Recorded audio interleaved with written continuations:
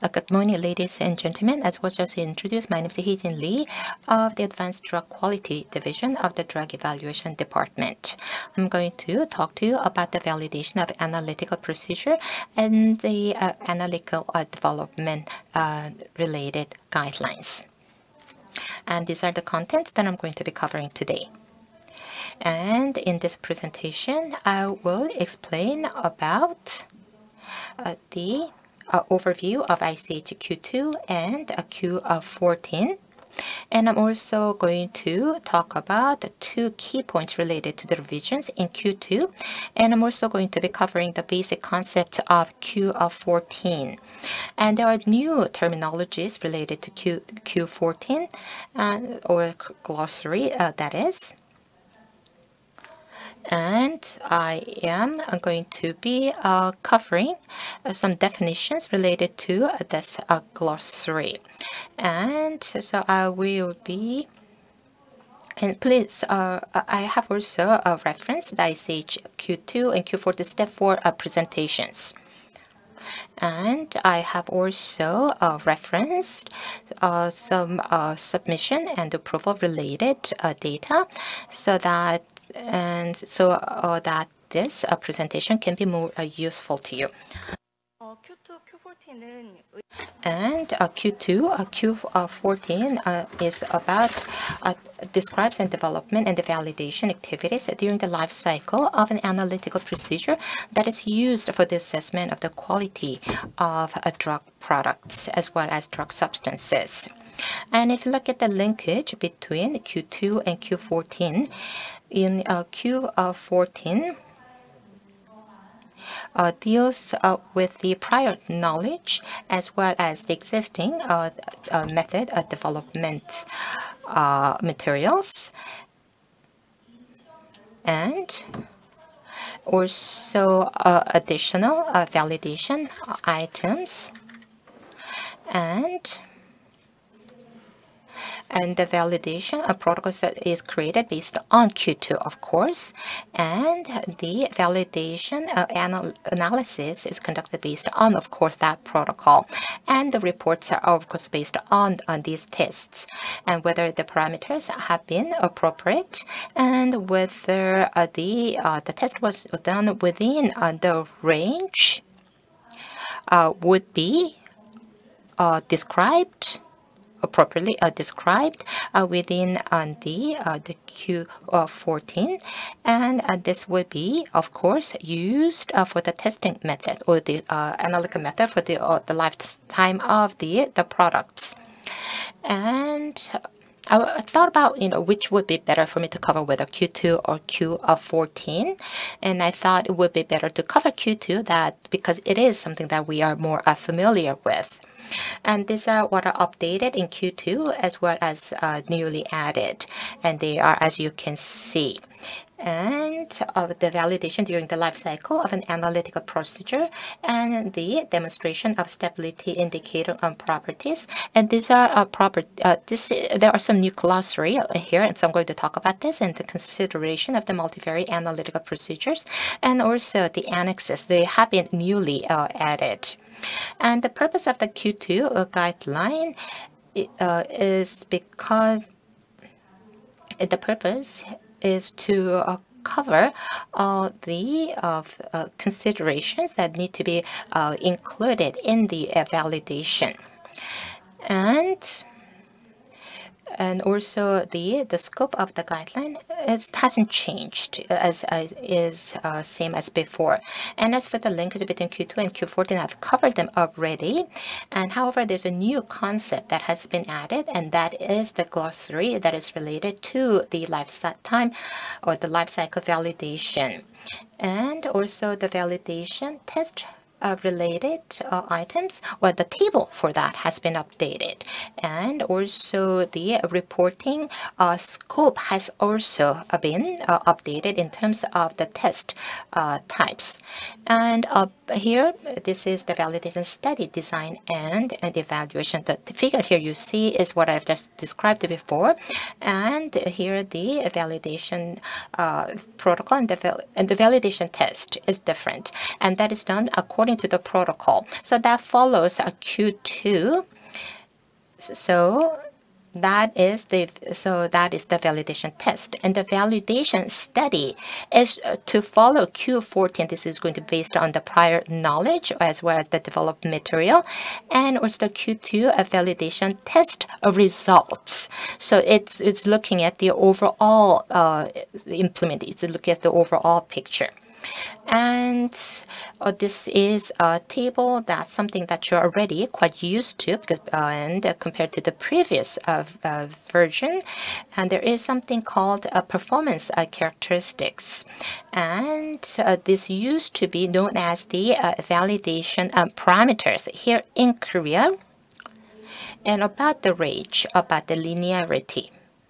Well, on the, uh, the, they were shown on the table, and within the range uh, were this concept of linearity, and the lower range uh, limits have been uh, included to represent the overall uh, range. So what this means is that so this range depending on the concentration, the response of that is going to be linear as well non-linear. And that is why they have replaced the word linearity with range here. So that is the gist of it. And also about the test methods or the analytical methods. And there is a reportable uh, ranges. Well, it, nothing much have changed. However, when it comes to dissolution, more uh, uh, specific information has been included here here, whether it's immediate release, whether this is a modified release. In terms of the contents related to the lower limits have been described in more details. And about the, dissolution and test, well, the, uh, the, uh, the, the points in testing could be quite uh, there could be a multiple of them. So the, dissolution, uh, the test of points have been included here as part of the dissolution uh, tests or the uh, details of the dissolution test. Well, this is the Korean version. And so here uh, you, you can see the comparison between the R1 of the Q2 and the R2 of the Q2. And about a stability indicating test, this is uh, this is a terminology that is being described here on this slide, and this is a validated uh, quantitative analytical procedure that can detect changes in relevant quality attributes of a product uh, during a storage. and so if you look at so what? So in order to see if a test is appropriate as a stability indicating test, we would see, uh, we would do the testing with the samples that contain relevant uh, degradation products. So there could be a spiking and there could be stress conditions applied uh, samples in order to uh, and those are the examples of such samples. And also a multivariate analytical procedure has been uh, added. And there are two validation or two steps of such test. One is related to model calibration and the other is related to model uh, validations. Those are the two steps. And in and the data sets here have uh, characteristics that, that they must have and they have been uh, described here. And with the uh, multivariate analytical uh, procedure. And uh, there are uh, samples that are used for the calibration and the validation, where there is uh, a standard test method to see the to do the testing uh, for the true value. And about specificity and selectivity and they are not that different uh, from uh, what was already known. And if there is no, uh, when there is no specific, uh, no selectivity, uh, excuse me, there's no uh, specificity, there has to be a selectivity that has to be proven. And there has to be also a minimization of the interferences. And this uh, this is just uh, for your, uh, your reference. So there is not much difference in terms of revision, so please read them at your own leisure. And about uh, the scope of the uh, the test methods, well, the, the highest and the lowest concentration, that is the range that has to be uh, looked at. And there are two terminology used, and there one is reportable range and a working range. And reportable range uh, refers to uh, the typically given uh, is typically given in the same unit as the specification acceptance criterion. And working range, it refers to the lowest and the highest uh, concentration that uh, the analytical uh, procedure provides uh, uh, the meaningful uh, results. Because if there is uh, going to be of any of uh, the solution, that the, the concentration could be lower. And that is why the lowest and highest concentration has to be included here. What that's what here means. And also here, linear, non-linear response was already included in the previous definition, but the multivariate response has newly been added. That is why you see at the bottom a multivariate uh, response. And then there is also the lower range uh, limits, and this uh, uh refers to detection and quantitation uh, limit. And as for the methods to prove them, well, there are no any changes here in the new revision. However, within the submission data, there, uh, when you provide detection and quantitation a limit, you have in the past used to provide signal to noise, and they were not uh, sometimes not checked with the chromatography, and the actually calculated methods uh, has to be confirmed with the chromatography in the new uh, according to the new uh, revision. And related to the accuracy and precision, there's not much change here and the accuracy and precision can be evaluated in combination. That's what has been added newly. And related to the accuracy and precision, if you look at the uh, uh, recommended data, well, that nothing much has changed. However, the uh, there has to be a uh, when representing the difference between the average uh, value and uh, the true value, there has to be the emphasis on the being able ability to check the real uh, value, that is the truth, uh, the, the value that was mentioned here. And same with the uh, precision. And I, I just said that it's possible to do the evaluation of the accuracy and precision in um, combination and and so uh, the uh, evaluated value must be in this case a combined uh, value of, of, of, accuracy and precision value. And then about the robustness.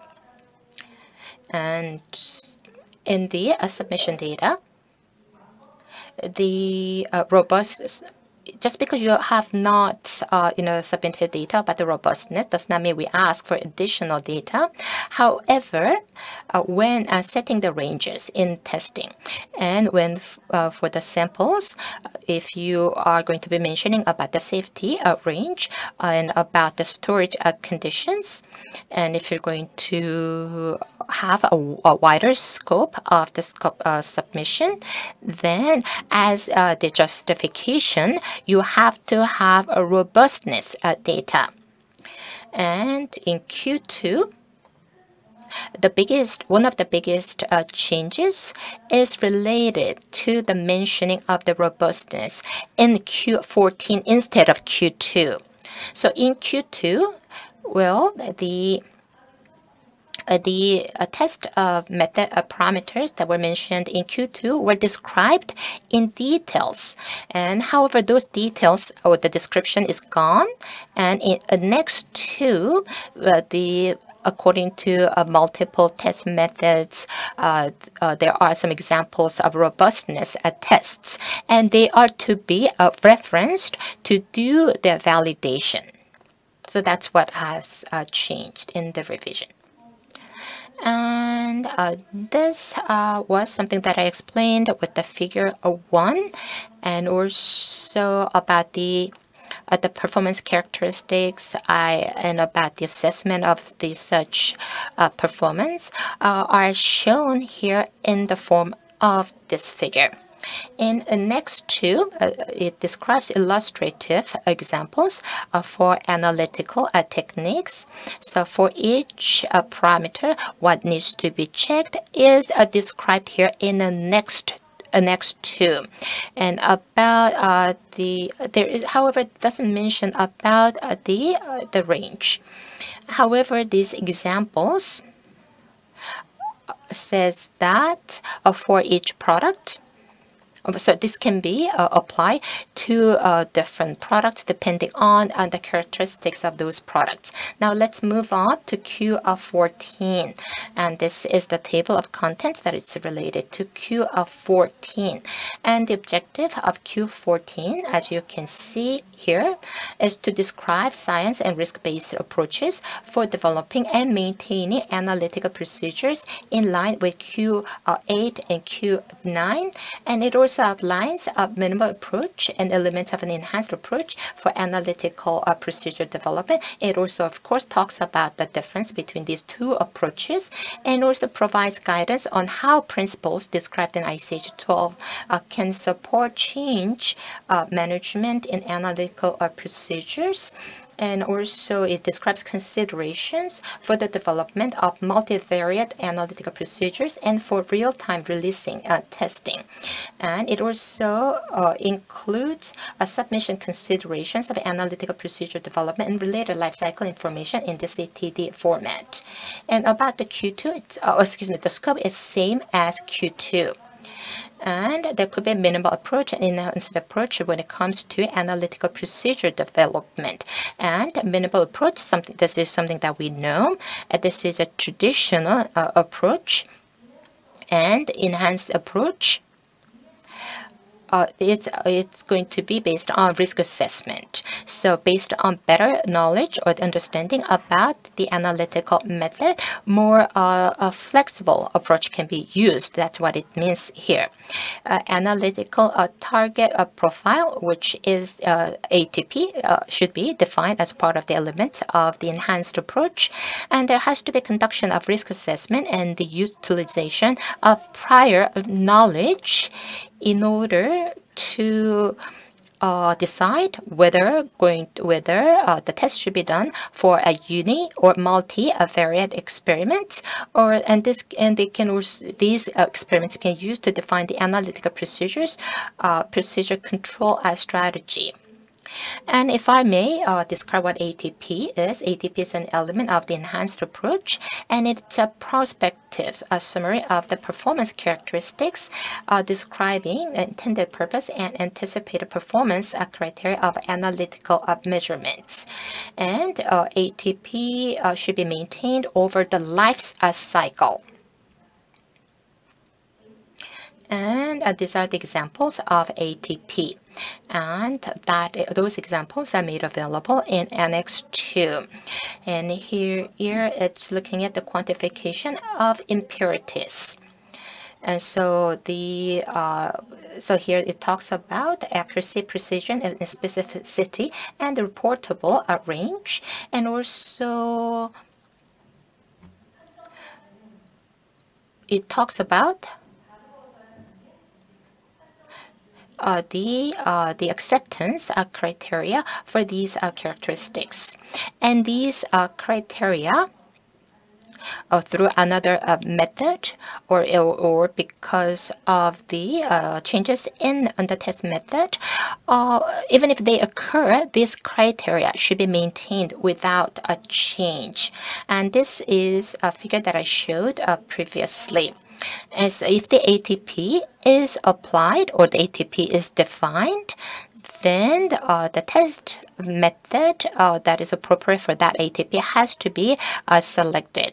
And when using that method, and the uh, test method uh, parameters uh, should be checked in this point and, and the parameters that has to be Uh, uh, the parameters uh, should be uh, set has to be confirmed with the set point or by setting the range of the tests. And about knowledge management, the prior knowledge well, is explicitly or implicitly used for informing decisions during analytical procedure development life cycle and management. And about uh, risk management, in well, uh, risk assessment tools mentioned in Q9 could be utilized for the risk management, or Ishikawa diagram could be utilized uh, to check with the potential impact uh, on the uh, performances. And also it's possible to check uh, the to identify the analytical procedure uh, parameters. And also robustness, this is about a measure of its capacity to meet the expected performance criteria uh, during a normal use. And uh, the and if, it, if, if, the, if the robustness evaluation is done, then there's uh, they has not uh, this does not has to be checked as part of the uh, validation study. And if the outcome of the evaluation of robustness should be is is uh, documented, it can be it should also be reflected in analytical procedure and control as strategy. And I want to talk about MODR. It, it's about combined ranges for two or more analytical procedure parameters within which the analytical procedure is shown to be fit for the intended uh, purpose. And so, and so this is so within this range, that is within the range of MODR, the performance characteristics must be maintained. And if PAR and MODR are accepted and the changes within this range is not looked at as the uh, as changes. And, and the PAR and the MODR are should be uh, or must be covered as, as part of the validation uh, data. And about analytical uh, procedure control as uh, strategies. And uh, it includes, uh, includes SST and this is as well an SST uh, depends on the type and intent of the analytical procedure and SST is designed to verify selected analytical procedure attributes and the criteria should be based on analytical procedure performance criteria. And about uh, once uh, defining established conditions for the analytical procedures, well, it should be done in line with ICH Q12. And the tools that are used for this purpose is included in Chapter 2, utilizing the uh, minimal approach as well as enhanced approach. And if these are defined based on the minimal approach, then most of the parameters because no risk, uh, risk assessment have been done, these uh, uh, these parameters most will be set as ECs, and they will be set as important uh, conditions. And when there are changes in ECs, and it's not going to well it has to be managed as change uh, control uh, submission and if the ECs are defined as part of the enhanced approach and then and the items within the AECs could be reduced and also uh, the uh, the changes uh, could be only uh, be uh, reported on an annual basis if needed. And uh, ECs are made up of ATP as well as Analytical Procedure Principle, SSST, and Sample Suitability Assessment Criteria, and set points and or uh, ranges.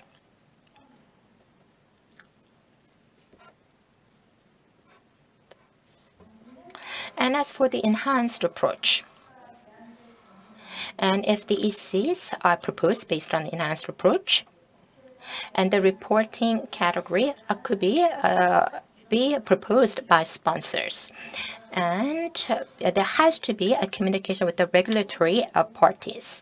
Uh, and these are quite important part of the communication. And when proposing and the ECs, the uh, the assessment has to be done in uh, advance and, and, proposed in accordance with the uh, results of the assessment. And this is what is included in the annex. And so throughout the whole life cycle, uh, these uh, these uh, conditions have to be satisfied. Uh, for instance, the uh, performance characteristics and the criteria as described in the ATP have the overall risk category of high, and uh, their proposed reporting category is also PA. And if the the column a specification as well as the equipment uh, use uh, if the robustness uh, uh, test shows that if the uh, these uh, criteria do not impact the results, then the risk category uh, will be lower, and the proposed reporting category could also be lowered. And so also the bridging uh, study, more appropriate bridging study could be done based on better uh, understanding. And uh, the ATP could also form the basis of a PACMP. And through a bridging study, uh, the results from those bridging study,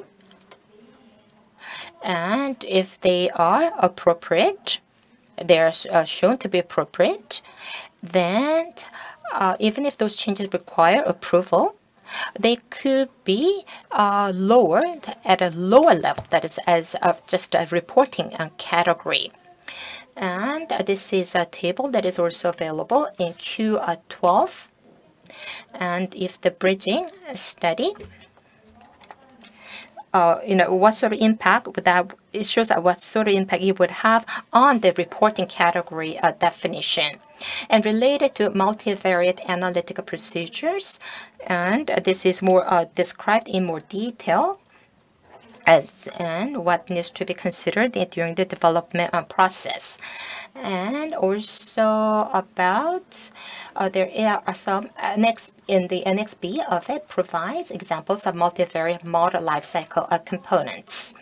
And also, according to the Q2 is the basis for the application of the RT and RT, and it uses a multivariate methods. And so the multivariate uh, test methods uh, related to principles and uh, the uh, method could be uh, utilized.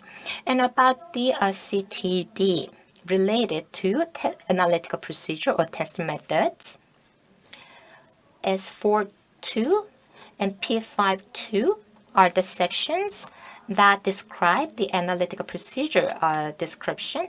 And if the enhanced approach is applied, then ATP and the MODR and PAR, these parameters are to be applied. And uh, as for the 4.3 and 5.3, uh, this is related to the submission of validation data and uh, related to ECs and robustness and the reporting category of uh, selections so the data that have been included for those activities must be submitted as part of S4.3 and P5.3. And in Annex A, it uh, provides uh, are for illustrative purpose only. It also suggests the concepts uh, that are described in ICH Q14. These are the major uh, considerations. These are overall of information and Q14 and Q2 guidelines should be applied in line with other uh, ICHQ uh, guidelines. And Q2 includes a latest uh, scientific and analytical uh, validation approaches. And in Q14, minimal approach, enhanced approach, are uh, proposed as part of Q14, and uh, enhanced approach is not mandatory, but but uh, utilizing an enhanced approach, there is uh, a flexibility uh, provided in terms of regulatory uh, submission. And, and, uh, and the enhanced approach does not mean that the, the data is less uh, detailed. And both the they are uh, both robustness and, and SST are important for these uh, both approaches. And this is related to uh, the implementation. So with this I would like to end my presentation. Thank you